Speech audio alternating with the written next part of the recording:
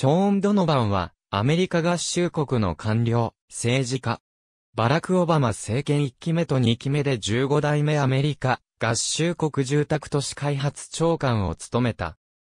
1966年1月28日にニューヨーク州ニューヨークに誕生し、ハーバード大学卒業後にケネディ行政学大学院で行政学、ハーバード建築大学院で建築学を学んだ。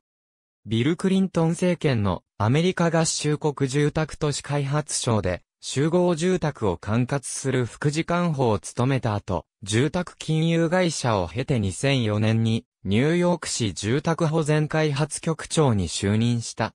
2008年アメリカ合衆国大統領選挙運動期間中にドノバンはニューヨーク州知事の許可を得て、バラク・オバマの選挙運動員として働いた。2008年12月13日に、バラク・オバマが、ラジオ演説で、次期政権のアメリカ合衆国住宅都市開発長官に指名した。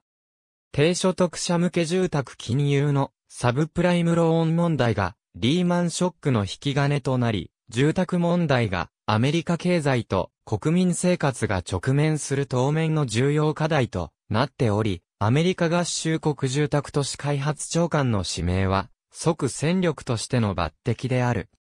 2009年1月22日にドノバンは、アメリカ合衆国上院で承認を受け、正式に15代目アメリカ合衆国住宅都市開発長官に就任した。2014年7月28日に、アメリカ合衆国行政管理予算局局長に就任した。ありがとうございます。